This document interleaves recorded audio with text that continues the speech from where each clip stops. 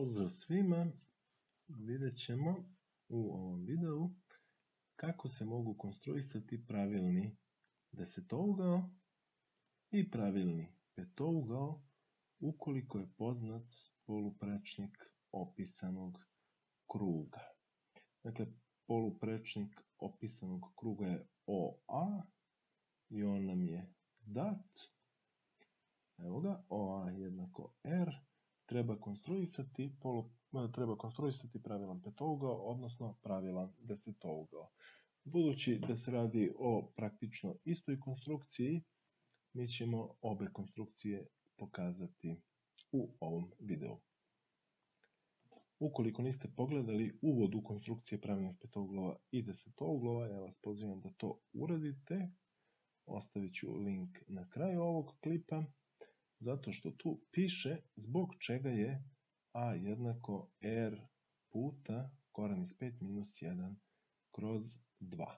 Dakle, da bi konstruisali jedan od ova dva pravilna mnogougla, trebalo bi da možemo da konstruišemo dužinu stranice pravilnog desetougla.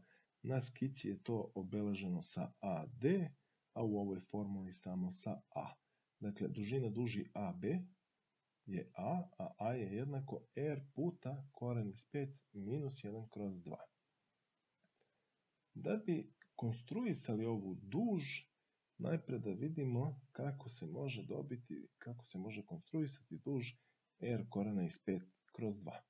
Tu ćemo u pomoć pozvati jedan pravougli trougao i neka stranice tog pravouglog trougla budu duža kateta r kraća kateta r pola, na osnovu Pitagorine teoreme tada sledi da je hipotenuza dužine r korena iz 5 kroz 2.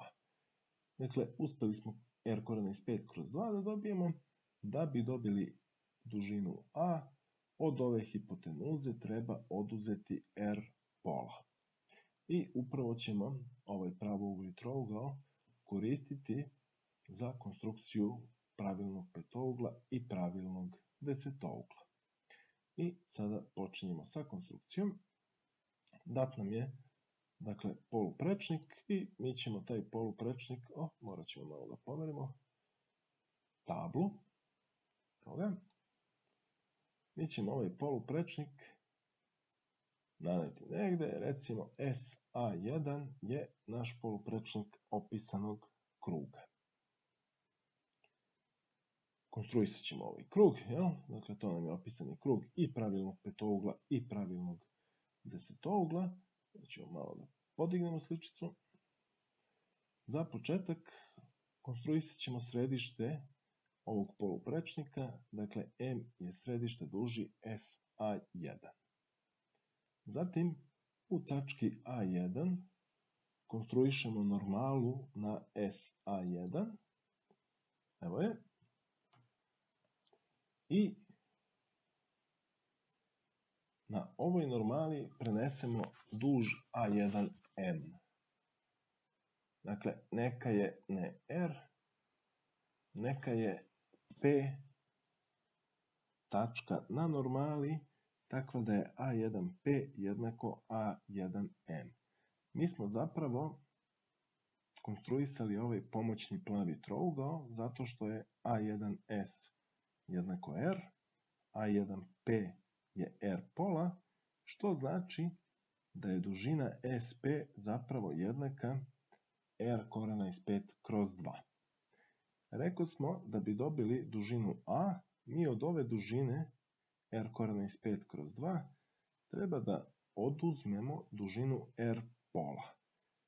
Pa ćemo, dakle, iz tačke P, sa centrom u tački P, opisati plavi krug poluprečnika R pola i u preseku sa hipotenuzom SP dobit ćemo tačku Q. Dakle, SQ je tražena dužina A. Zašto? Pa zato što je SP jednako R korena iz 5 kroz 2, a PQ je R polovina, dakle SQ je jednako SP minus PQ, a to je upravo R što množi koren iz 5 minus 1 kroz 2. Dakle, dužina SQ je zapravo stranica pravilnog desetougla koji je upisan u ovaj krug sa centrom u S. I sada ćemo prosto dužinu SQ iz tačke A1 preneti na krug u preseku sa krugom dobit ćemo tačku A2.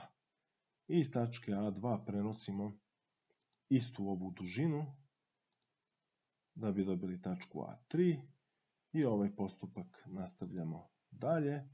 Dobit ćemo A4, pa dobijemo tačku A5, pa dobijemo na osnovu A5 tačku A6, iz tačke A6 ćemo dobiti tačku A7, iz A7 dobijemo tačku A8 i na kraju tačku A9 i nedostaje nam još jedna tačka A10, ja sam je značio sa A0, bolje ne znam. Dakle, na ovaj način smo dobili temena pravilnog desetougla, iako nam je zadatak bio da konstruišemo pravilan desetougao, prosto ćemo spojiti susedna temena i naša je konstrukcija završena. Evo ga. Dakle, ovako se konstruiše pravilan desetougao.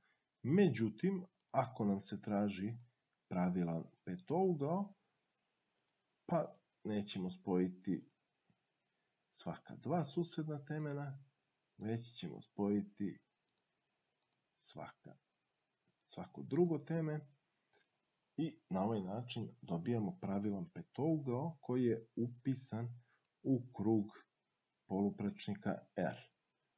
Vratit ću ove stranice pravilnog desetougla. Nadam se da ova konstrukcija nije bila komplikovana i zahtjevna. Ostavit ću vam ovdje link za uvod u konstrukcije kao i link za konstrukcije pravilnog petougla, odnosno pravilnog desetougla, ukoliko je poznata dužina stranice ovih mnogouglova. Toliko od mene za sada. Pozdrav!